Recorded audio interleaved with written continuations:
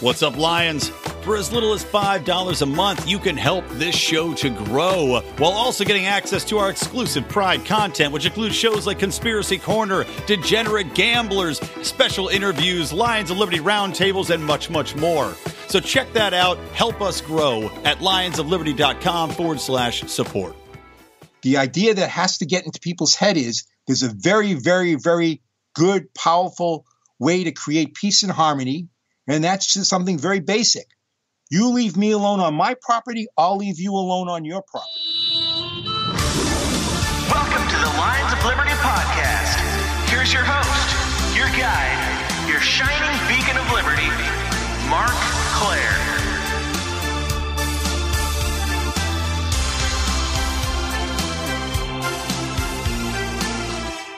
Yo, what up, doggies, and welcome back to the best libertarian podcast that you are going to listen to in the next uh, 45 minutes. How about that? Uh, this is Lions of Liberty. This is your home for great conversations about the ideas of liberty. And this is the only libertarian variety show out there because it's not just me here every Monday bringing you interesting interviews like the one you're going to hear today, as well as fun round tables in the form of libertarians in living rooms drinking liquor every once in a while. We also have several other shows on this podcast feed. Every Wednesday, Brian McWilliams brings you your weekly shot of comedy, culture, and liberty with Electric Liberty Land. And my man John Odie Odermatt wraps things up every Friday with his hard hitting look at the broken criminal justice system on Felony Friday. So be sure to hit that subscribe button so you don't miss a darn thing. I'm very happy to report that our podcast feed is fully functional now, and we have taken some steps to make sure that uh, the little malfunction that we had a week or so ago does not occur again. Uh, if those of you missed John Odermatt's interview with Adam Kokesh or my interview with Anthony Samaroff, go tick back in your podcast feed. Those episodes are both functioning. You can listen to them. They're both excellent, excellent conversations, if I do say so myself. And speaking of excellent conversations, there's another one coming for you today in this, the 346th episode of the Lions of Liberty podcast. And that means you can find today's show notes featuring links to all sorts of things that get mentioned over at lionsofliberty.com slash 346. Let's get to it, shall we?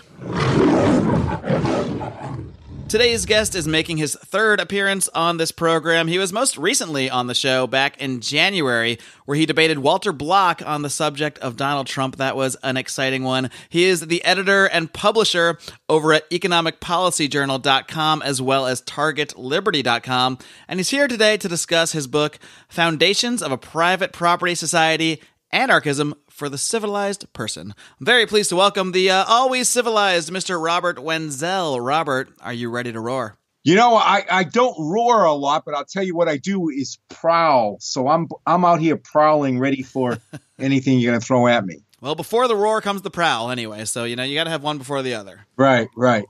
I think I don't know. That might be that might be a weird analogy, but I think we all get the point that you're out there uh, on the hunt for new ideas. Uh, you're always on the hunt for the conversation about the ideas of liberty, and, that, and that's exactly what we do here. Now, uh, you first appeared on this program actually way back uh, early on in the run, uh, actually episode 22. I looked that up earlier, and a lot more people are listening to the show today than they were almost five years ago. So maybe you can just start off by quickly recapping how you first became interested in libertarian ideas. Okay, well, I, I first became interested in libertarian ideas a very, very long time ago when a book came out in probably 1969 by Harry Browne called How You Can Profit from the Coming Devaluation.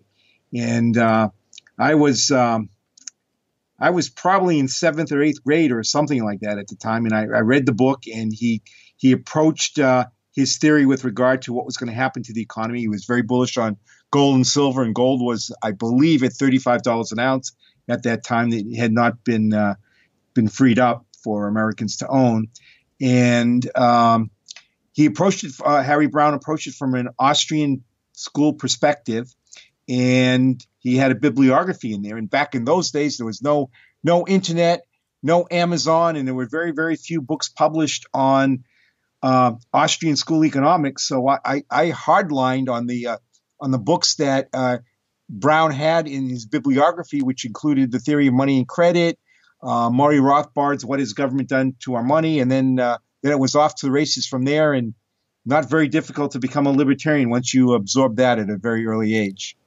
Yeah, I can't imagine that many of your classmates in, in seventh or eighth grade were, were reading about economic collapse. How did you how do you think you ended up being the kind of person that would find themselves with that book in their hands at that young an age? Well, you know, I, at at that age, I was uh, interested uh, already interested in investments in money. So that was probably about the third or fourth book that I read on uh, on in, investments. The other box books were uh, stock market books. As a matter of fact, I can still remember the names of those books. There was one by uh, Morton Shulman. There was a book by uh, Richard Ney called The Wall Street Jungle, and uh, then then Harry Browne's soon followed after that. After that, so always interested in money and curious about money. I know, Robert. Uh, you know, over the years, there have been many, many works written attempting to lay out the case for a libertarian society or a private property society, if you will. Uh, so, why did you decide to write your own little treatise here? What, what did you feel was missing from the dialogue uh, that inspired you to get your own ideas out there? Okay, uh, what, what, I'm doing is I'm taking it from a, a, little bit of a different approach than uh, uh, two of my heroes, Murray Rothbard and Ludwig von Mises. Ludwig von Mises used a uh, utilitarianism um, argument for uh, justifying free markets and in uh, a free society. And utilitarianism is, is basically saying, you know, this looks like it will be, he took a broad range utilitarian perspective and he said, you know, this looks like it will be best for, mo- for most people. And he's, he's probably true in, in, in that sense, but it's sort of, uh, uh, it, it comes out to sort of being a, a tyranny of the majority. If you're sort of going to look and vote and determine, you know, what's best for people, there's a lot of people that would be in the minority and, and you know, could, could get hurt by that kind of perspective, um, which is a perspective that Murray Rothbard, I think, correctly uh, criticized when, when he talked about a libertarian theory, but then he took a natural rights theory perspective. And I, that, that theory just does not follow as far as I'm concerned. There, there's there's basics there that go back to John Locke and John Locke t- talking about we own ourselves and therefore we have these rights.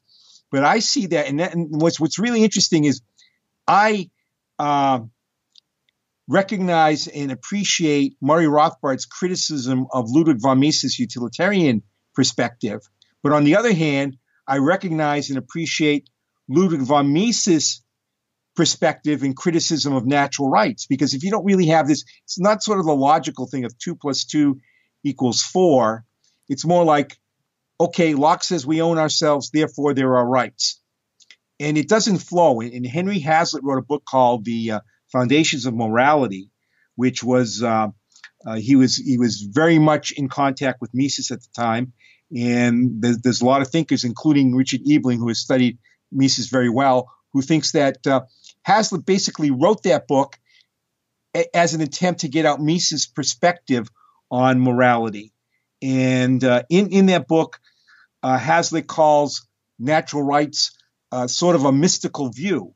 And I, I, I kind of understand where he's getting that perspective from because it's, again, there's, there's not this logical flow. And then what happens is once you say, well, people have a right to, to freedom, then then you've got people claiming there's rights to health care and this and, and this and that and the other thing, education, uh, uh, um, a basic income, and, and, and it doesn't stop them because there's no logical argument for the first idea with regard to natural rights. It, you know, people can just throw things out. So so I don't I don't think that works. So I've always been um, concerned that there really hasn't been the proper foundation for uh, advancing liberty. And uh, so, so I've thought a lot about it. And uh, uh, the Nobel Prize winning economist Friedrich Hayek talked about in economics that most of the advances were um, more application of subjectivist perspective in theory, and that's how economics has developed. And it's not a, a, a complete move, uh, exact replica in, in with regard to social theory, but I take a subjectivist perspective to justifying uh, a libertarian approach, a private property approach.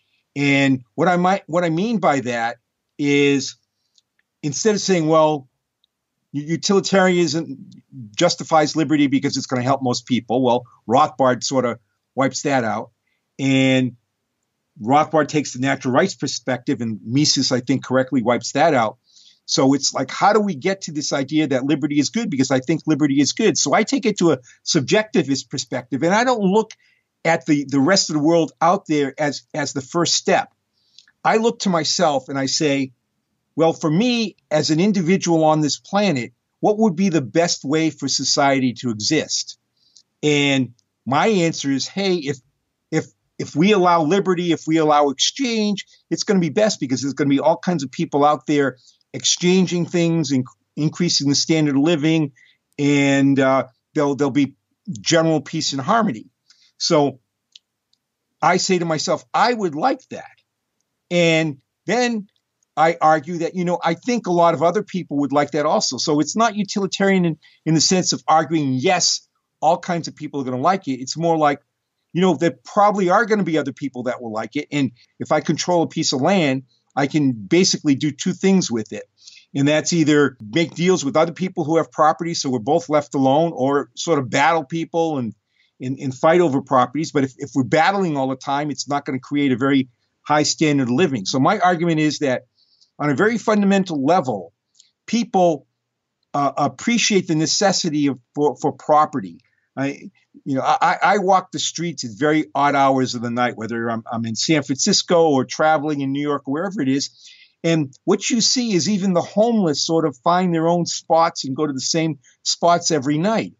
And I think that's a lot, a lot about it, it's it's sort of explained by uh, by economics in the sense that you don't want to raise your cost. If you find a place where, where you're comfortable and you feel safe, you know, why have to go through that every night? So even for a homeless person, it's important to sort of have his own own little spot of land where, where he can sleep. And for, for the rest of us, where we have uh, lots of goods and properties and uh, goods and and, uh, and families and uh, businesses, we, we want something where we can sort of store this stuff and, and keep it in the same place on, on a regular basis. I mean, people may travel, they may go to hotels and things like that. But for the most part, you've, you've got a situation where people, it's very important to have property where you can feel safe, store things, operate, raise a family, whatever it might be. So my argument is, okay, so how do we get from liberty when we recognize that people want property where they can feel safe and go to the same place every night and store things?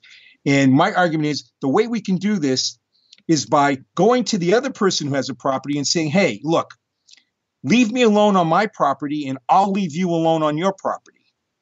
And for, for most people, it would make sense because then you, you don't, you're not battling each other. You're not wasting time. You're, you, you can spend that time doing creative things versus worrying about the person next to you. Now, admittedly, there, there could be people that cheat and lie and, and do all that kind of stuff. So in, in my book, uh, I talk, uh, I, I, devote a chapter to how security would develop, how uh, uh, courts would develop, and, and all that. But the essential foundation is, you know, there, there's not some kind of overarching rule, a utilitarian rule, or a natural rights rule that applies overall that we have to recognize because there isn't. There is no, you know, we can argue all day long that people have a right to uh, uh, this or that, but many people may not have it. So I look at it from an individual perspective, from a methodological individualist perspective. And Hayek, uh, uh, David Gordon, a, a, current philosopher who studied under uh, Hayek, talked about Hayek uh, seeing methodological individualism and subjectivism as very, very close. So, so again, it's not a perfect move from the economic analysis, the way subjectivism, methodolo- methodological individualism is, is used, but it's very, very close. And so the way I look at it is okay, from the way we can get to liberty with without dealing with the problems that the utilitarianism and the natural rights uh, people have have is to just say, look, from from your own perspective, it makes sense to cut a deal with people around you so you're not battling each other. And then from there, I just sort of developed the whole idea of how uh, how society would develop and uh, why the standard of living would be uh, very high in, in, that kind of society. And now, Robert, when you uh, sort of talk about you know um, how property owners you know naturally want to sort of cut a deal with their neighbors in a sense of you know just the idea of respecting each other's property and that sort of thing, I think a lot of people, especially people that aren't libertarians, might just say, well, that's what government is. It's where we cut this deal with the people in our city, in our state, in our nation to uh, have a certain set of rules. And then uh, we have a nice little system where we all vote on representation and then we all come up with these rules and we all sort of agree to abide by them. Now, I know most libertarians are going to kind of laugh at that idea, but the everyday man out there on the street, I talk to them all the time, and this is generally their conception of what government currently is, even. So, how would you talk to sort of a non libertarian about this idea who might sort of think in their minds, well, that's already what we have? That is, that is the current represent, go- representative government as we see it today. How can you sort of show them that what your view vision is, is, is vastly different from that? Sure. Uh, uh, basically, uh, this this is a good question because when you've got government, what they're doing is they're they're making rules for everyone on everyone's property, whether you may agree with them or not. What I'm saying is, look, let's cut deals with people on their properties, and we leave them alone. They can do anything they want. They can run around naked if they want. They can uh, take LSD if they want, as long as they leave us alone on our property. If we we we want to uh, make some kind of rule that everybody walks around in a suit, well, you know, so so be it. So there's no general rules. Whereas what happens when you get a government, the government is making rules for your property, even though you may disagree with those rules. And then what happens is the government becomes a power center, and people strive to gain control of that power center because you can make a lot of money by it.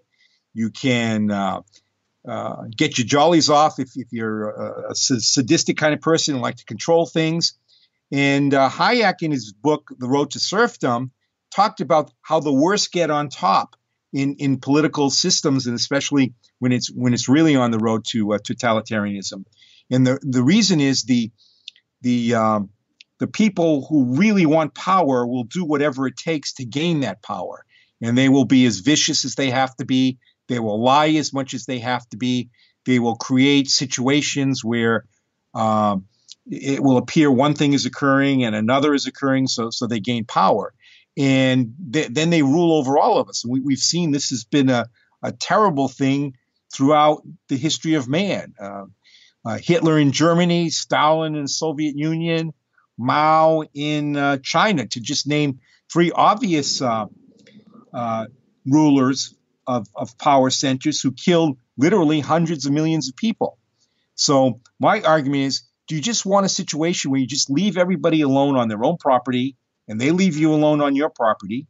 Or do you want to create a structure which creates a uh, power point, center, center point, where there's a ruler that will make rules over your property, whether you like it or not, and you're, you're going to get bad guys that eventually get to the top because they're the ones that will do what it takes to get there. Obviously, your book is titled The Foundations of a Private Property Society. And if you're going to have a society based on private property, and uh, foundationally speaking, we need to sort of have some kind of agreement or, or, consensus of some sort about how property rights are determined. So, do, do you have a concept in mind of how, within this sort of subjective economic theory uh, that, that ties it back into your private property society, how are are those property rights determined? And I mean, because subjectively speaking, you could say I, I, might just walk down the street and point at my neighborhood and say, well, subjectively, I feel this whole area is my property, so so it should be mine. I mean, how, how do you think people that take this approach could actually sort the the fundamental idea of what is property in the first place out? Because you know, before they actually move on to making deals to protect their property and agreements with their neighbors and that sort of thing. I really reject that idea of rights. So I don't even think there are property rights. I, I think we just live in a world where situations exist and there's there's just no overarching rights, not not even property rights. The way I look at it is, uh, property could be split up all kinds of ways. I mean, there, there's in virgin land, there's a lot of people that uh, argue again from a Lockean perspective that it's land and labor mix, but I argue, you know, that that that's sort of a makeshift idea that that sort of works, and I don't have 100% objection to to the way uh, property is gained that way in, in virgin land. But I do point out it's not necessarily some kind of fair and just natural rights perspective because you you know it's it's hurting all kinds of pre- people. Uh, a blind person is not, not in no way going to be able to uh, uh, operate a, a, on a land and, and mix it with his labor to the degree that a person can see. Same thing with a person in a wheelchair. Same thing with a person um, who uh, who is elderly. You know, you, you're you're really creating a a, a, a land ownership that is for the uh, the strong. So so again, I, again, I, I don't completely object to that, but I'm just pointing out it's it's not really some kind of magical justice going on there. Well, how, how would that be different in your view then in, in the private property society? Because aren't you know how else are people going to acquire property in that in that case to to the point that we now can discuss how we interact with each other? Then you know, if you putting aside the idea of rights, how do you just see people acquiring property in the first place? I mean, eh, don't, don't you think the strong would also acquire property just you know naturally, even in you know the view you're taking? Well, as a matter of fact, I, I have a post up now at uh, Target Liberty where I say you know, we we're not we haven't occupied the moon, and maybe we should all get together. I mean, this is this is a big maybe to get the whole population of the Earth together, but let's divide up the moon right now. There's uh, roughly seven, seven billion, maybe it's closer to seven and a half billion people now, and uh, the mass the mass surface mass of the moon is uh, 14.6 million square miles, which works out to 55,700 and 56 square feet. So why can't we all agree to just split it up? And, you know, we really don't know what land may be more valuable than others. So let's just distribute this one little parcel to, to everybody on earth. And they can either save them, save the pieces, their plots, sell them, ignore them, whatever they want with it. That's the way that virgin land can be uh, divided up.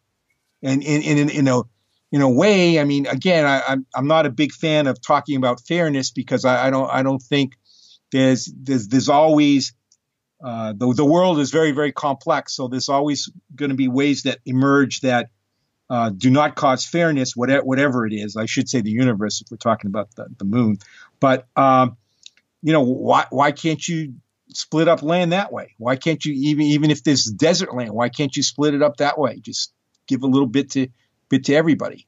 And um, I'm, I'm, debating this with the uh, the uh, economist, libertarian philosopher Walter Block right now. And one one argument he has is, well, these are going to be small parcels of land. So what can anybody do with them? It's a, it's a it's a terrible idea. And, and my point is, well, not really, because if the if the land is only worth say a penny, then you could get some kind of developer, just the way that it happens now, buy up a bunch of them and and and build it into uh, a, a plot that becomes something that can be developed. And so um, uh, we, we, were. He, he also brought up the idea of, of splitting up the ocean, and he argued that it was uh, a terrible idea to split up the ocean that way. But then I asked him if uh, if he prefers the the ocean to be commons land, where we have all kinds of destruction of fish in the land and plastic being dumped and all that kind of stuff. And he agreed with me that you know private property, even if it is these small divisions is a better situation than uh, than having the commons mess we have now.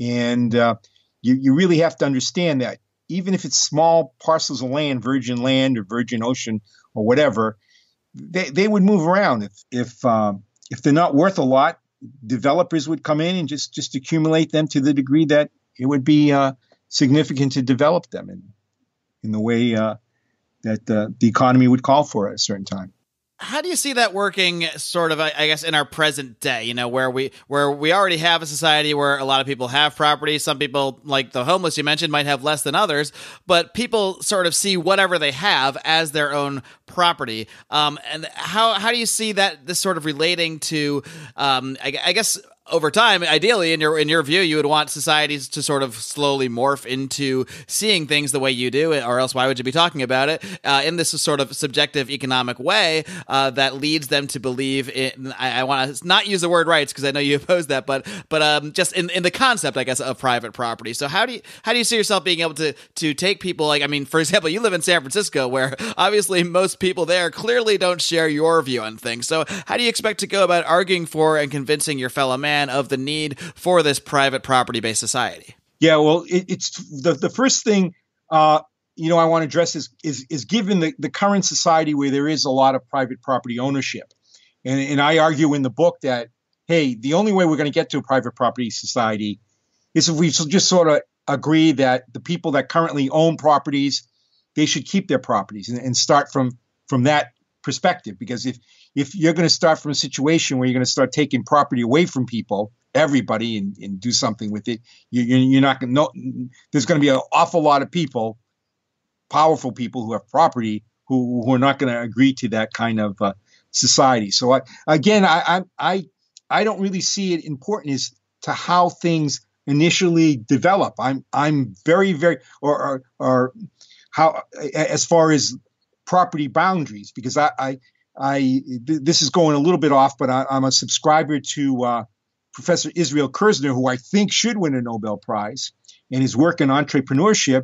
And he points out that entrepreneurship is is about vision and seeing opportunity, even if you don't have a lot of capital or property, and, and just by that vision and knowing where to get capital or where to get property for for a project that that you can um, uh, make make entrepreneurial profits. So so I don't see the current uh, division of property is a barrier for uh, for for for people who are are creative. And so my my argument is, hey, let's just leave the property the way it is. I, I don't have a problem with that, and it would be nearly impossible to try and promote a private property society uh, where you're going to take it away from from people. And I don't see why you should take it away. I mean, it's it's it's just leave it the way it is. Now, now as far as promoting a private property society, I see that as an extremely difficult long-term process. I, I do not expect to see it in my lifetime. I, I promote this largely because I like the intellectual battle. I, I, like to present new ideas. I like to throw them up against the utilitarians and the uh, natural rights people and the socialists and all that. I like the battle and uh, it would it would re- for for private so- property society to take hold. Um, uh, again, I, I go to Hayek, who talked about secondhand dealers in ideas as being very very important in getting uh, ideas across to society generally. And so the way I, I, see a private property society that could develop is at some point a lot of secondhand dealers in ideas. These are these are people who uh, the masses sort of respect and and the, the secondhand dealers are able to influence the masses and get them to think in a certain way. But when and how secondhand dealers would actually sort of grab and start promoting a, private property society, I, I, have no idea. It's possible it could it could never happen. But I, I like promoting the idea, and you, you, don't really know how ideas flow and who catches on to something and, and where where it would uh, uh, develop a, a, stronger following. What about when it comes to, I guess, uh, disputes about property and, and, the concepts of crime and criminal justice? You sort of mentioned that a little bit at the top, and you do go into it a bit more in your book. But how would, uh, how do you see things playing out where your private property society would address, let's say, disputes about property? You know, disputes over property, or or simply something as simple as, as theft of property. How would that be resolved um, as you see it between these agreements between neighbors? Okay, so so what I see is that each individual person or property owner, or even even someone who doesn't have property, could hire some kind of private security firm. And the way I like it, I mean, you know, I, I like to think at sort of basic level, so it's easy to understand how how it works. So, say I'm in in some some small area and I've I've got a piece of land, but I'm afraid that you know the the caveman next door might you know try and steal the the, the fruit I collected or or the deer I shot or something like that. So I may want protection. So what I'm going to look for is the biggest, strongest guy in the area. And uh, uh, to liken that to, to, to, modern day, you know, we, we see these cell phone advertisements where the cell phone shows where it has coverage all over an area. So when you get a private property sec- security firm that that really has uh, strength and power and ability, and if you travel or you go on vacations, you know they, they guarantee that they, they would be able to protect you there either because they have um, their own security people in those areas or they um, they have an agreement with security people in those areas. So I, I sort of picture a map and say, you know, this is us, this is our security. We'll deal with whatever's going on here and there. But my neighbor's going to want a security firm also, and he could he could use the same security firm I have. So if, if we're both signing up to the same security firm, the security firm is going to say, hey, look, you know, we're representing other people and these are our rules.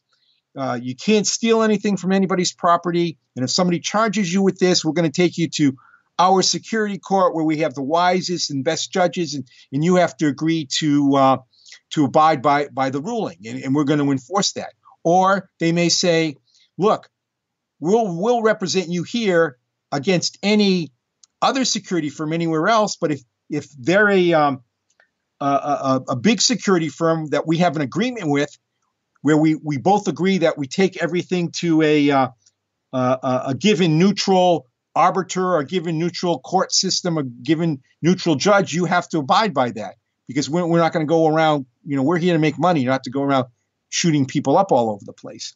So it's it's it, there's a subtle thing going on here. If you want to be a complete loner and you're not messing with anybody else, you can sort of have your own little private property, and you don't have to have any security if, if you if you don't think um, you want it, and it's not necessary that no one's going to bother you where you are. However, for everybody else, they're going to want one of these big security firms that has relationships with all the other security firms, so things get resolved. So they're going to look for um, private property firms, uh, security firms that um, are, are known for being straight shooters that, that are known for handling things, uh, protecting property, and not creating distortions or anything like that. Now, now we have, you know, crooked judges, we have crooked courts, we have laws on, on all kinds of things that you, you may say, say you're a marijuana smoker. You may want to smoke marijuana. So you would never hire a, security firm that is going to throw you in jail for that. You're going to hire one that's that's that is very strong in protecting um, you so that you you, you can smoke uh, marijuana. So you, you you would get these um, uh, situations where these these large security firms would develop, which would basically give people freedom because that's the only way they're going to att- attract a lot of people. If they start making a bunch of rules that you know people think are oppressive, they're gonna they're gonna avoid those uh, security firms. And because the security firm is their actual client or they're actually being paid by these customers as opposed to government where you don't really have a choice about you know the monopoly uh, that we certainly have uh, at least in our modern form of government uh, th- for that reason they won't be violating again i don't want to say the rights but what, we, what a lot of us people see as rights anyway uh, smoking marijuana or do, doing basically whatever they want on their own property as long as they're not hurting others right see see what you've got with government is you've got a central government that is making decisions for all properties everywhere and if you defy those laws, whatever they are, their their government monopoly police will will arrest you and throw you in jail. You have no choice, nothing. Whereas in my private property society, you're going to want a big law uh, security firm so that it can protect you against all kinds of uh, uh, threats.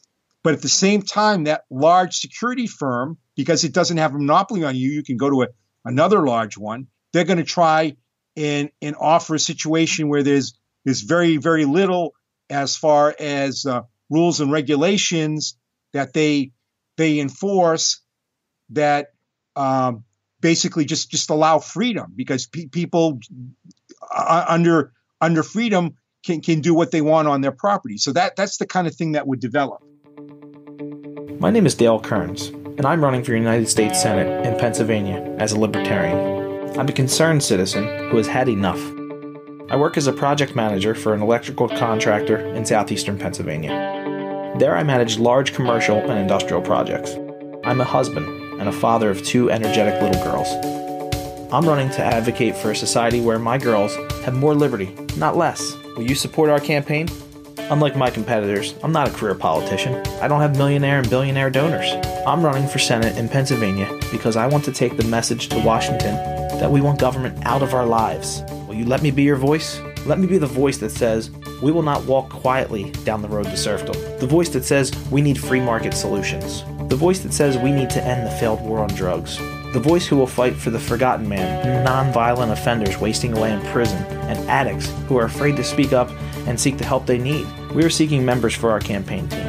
I encourage you to apply. We need donations to help us spread the message of liberty across the state. We can go on hoping for liberty to happen, or we can fight together. I hope you choose the latter and join me today. Find out more at dalekerns.com. Paid for by Dale Kerns for Office. One more objection that I want to sort of raise that I know many many people might have when they first hear this concept, you know, and, and basically the the main agreement that you see property owners making with each other uh, to create this sort of society is is basically allow others to do as they wish on their own property, which I think generally most libertarians would agree with. But what about when it does come to again what many people see see as rights violations? Let's say it comes to you know holding people in captivity on their property or you know holding children as slaves on their property. How would that sort of thing? Because I mean that is in theory, allowing others to do as they wish on their property, I think most people would be appalled by those things and want to stop them. So, how in, in that society would sort of uh, atrocities like that that take place on private property, how could that sort of thing be addressed? Okay, that that's a real good question, and and I have to point out that my book is not called "How to Bring the Garden of Eden." Right, of course, on, onto Earth, because it's just you know, laying out the basic. There's, the basic there's going to be bad people out there, okay? And, and if you have children or something, you certainly don't want them being captured and kidnapped. So, you know, you, you keep them on your property. You're aware of situations where there's there's bad property, just like there is now. I mean, there's there's parts here in San Francisco, um, the the Tenderloin district, where it's it's uh, very very dangerous to uh, to travel at night, and, and, it certainly wouldn't be any place for for a girl to travel late at night. Um, so so basically, what we do now is we stay away from bad areas, and, and if if there's a property owner who doesn't have a security firm and recognize rules and laws on his properties, we would we would stay away and we would certainly keep children away from that. And if if that kind of guy came onto one of our properties and kidnapped kids, well, that's a violation, and uh, the security firms would would certainly go after that guy on his property or, or anywhere else and and and stop that.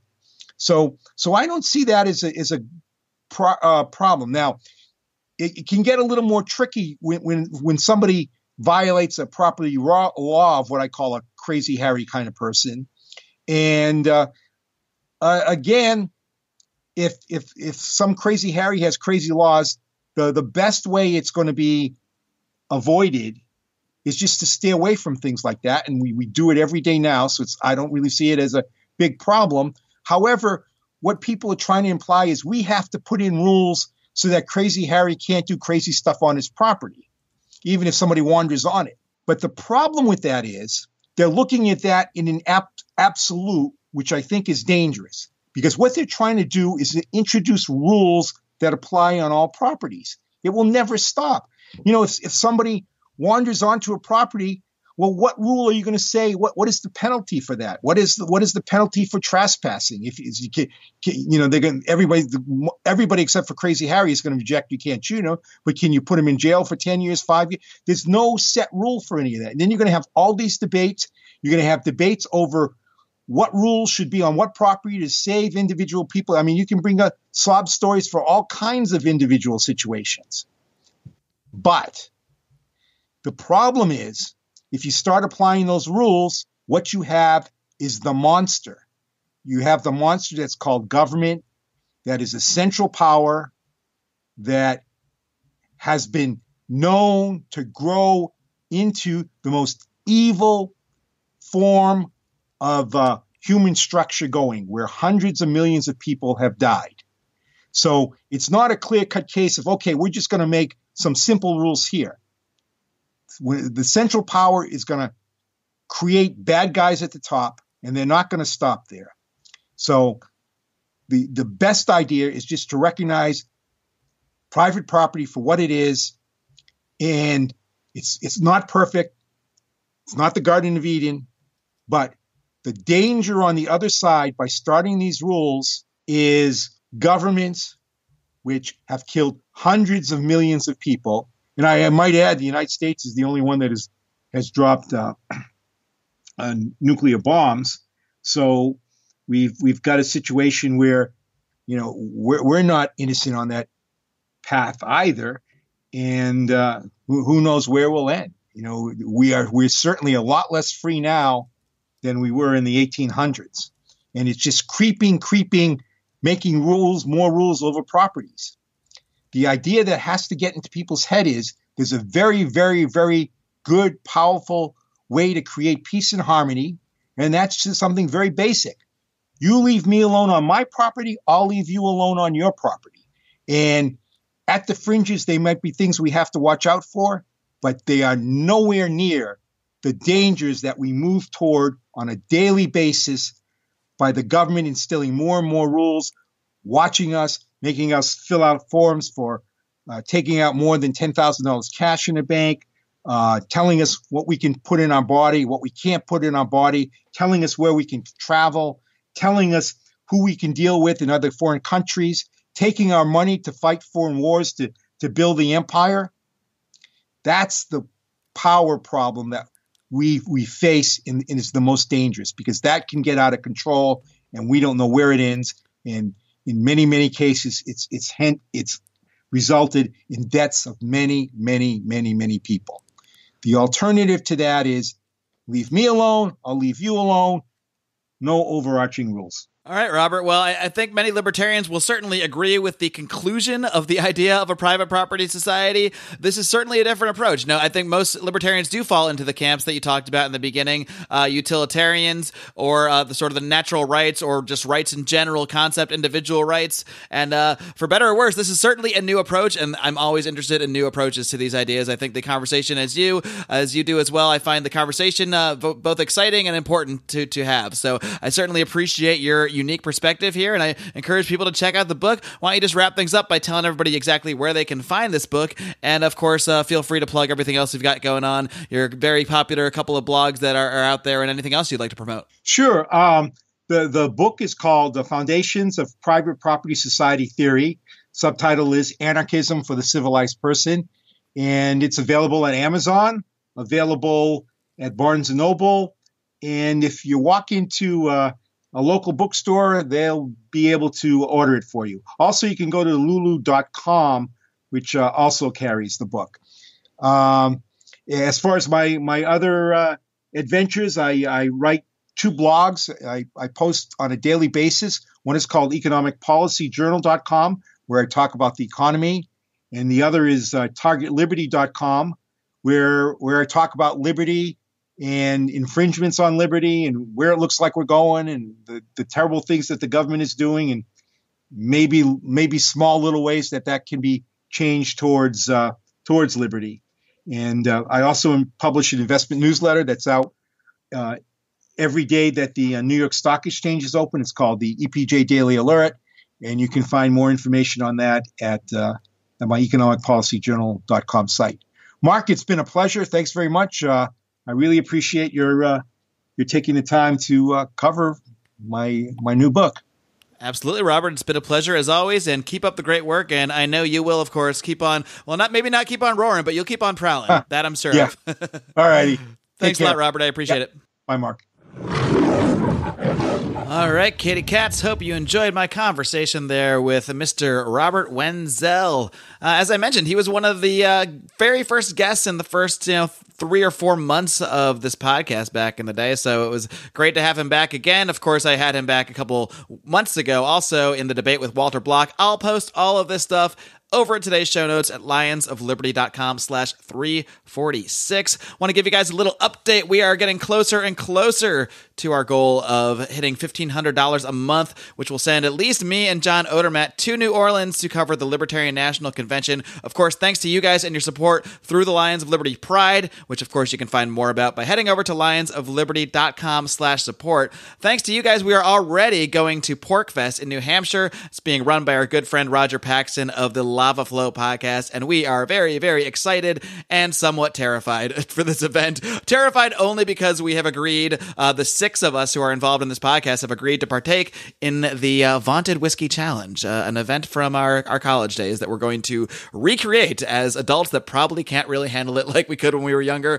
And uh, we're going to record a podcast while we're doing it. So either way, it's going to be very interesting. Of course, we're also going to record a live League of Liberty podcast, which uh, members of the Lions of Liberty Pride know all about. That is myself, Johnny Rocket Adams of the Johnny Rocket Launchpad, Chris Spangle of We Are Libertarians, and Roger Paxton of the Lava Flow podcast, our super team of libertarian podcasts that have come together to create a new podcast that you can only hear if you support one of our four shows. So if you if you donate to either the Lions of Liberty podcast or any of the other three shows, you can hear the League of Liberty podcast, and that is a that is a gets contentious at times. Let's just let's just leave it at that. And uh, but it is always a fun time talking to those guys. So I'm very excited about what we've been able to do thanks to the donations of our amazing listeners, you guys right here. And even if you're not donating, I am thankful for you just listening, just being here, just downloading the show, telling your friends about it, uh, engaging in this conversation because that is really the most important thing. Uh, I wanted to have Robert on because he has presented a sort of new idea, a new way of looking at a potential libertarian society. Uh, I really appreciate anybody that puts in the effort to, uh, I guess, address how a libertarian society could come about or how a more free, private property based world could actually function. So that's why I wanted to have him on today. Of course, I've had many guests on that have many different theories or ways that they look at approaching the ideas of liberty. Uh, I had Stephan Kinsella on talking about argumentation ethics a few months ago. I had Shane Whistler on talking about his book, Reason and Liberty. Uh, there's really a lot of different takes on it, and I try to present that to you guys to uh, determine for yourselves, I guess, what uh, what the best way is. And of course, you can you can help be a part of this conversation by coming over to our public forum. That's the Lions of Liberty forum on Facebook.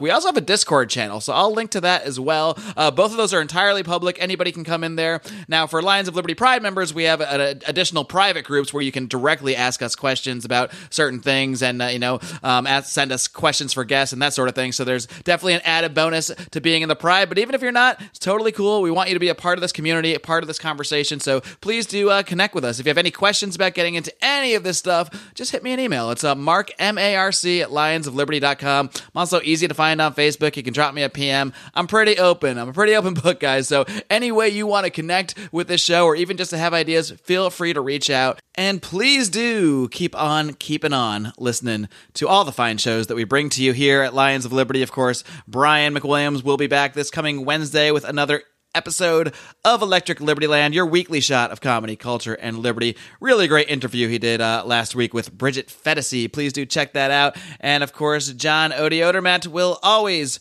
once again, bring you another hard hitting look at the broken criminal justice system on Felony Friday. And until next time, folks, you know what I'm going to ask you to do. It's simply to live long and live free.